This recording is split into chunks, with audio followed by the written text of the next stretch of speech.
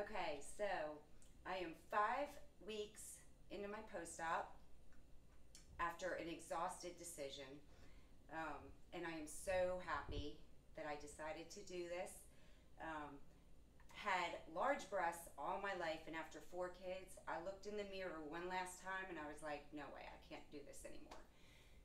Just very, very anxious and, and scared about the anesthesia and being put to sleep. And Dr. Burgdorf and all his staff, um, you know, made me feel so much better about it and assured me, you know, that everything will be okay. And I did it, and I was literally in the truck going home at 9 a.m., two hours after surgery.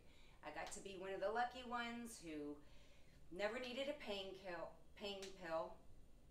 It just all went perfect. And I'm happy and I'm going to the beach in my new bathing suit. And so, anybody who's thinking about this, I'm sure there's plenty of women out there who just want to do it so bad but but feel guilty like they shouldn't.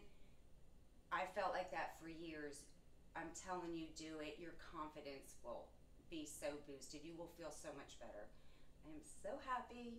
Okay, bye. Uh-huh.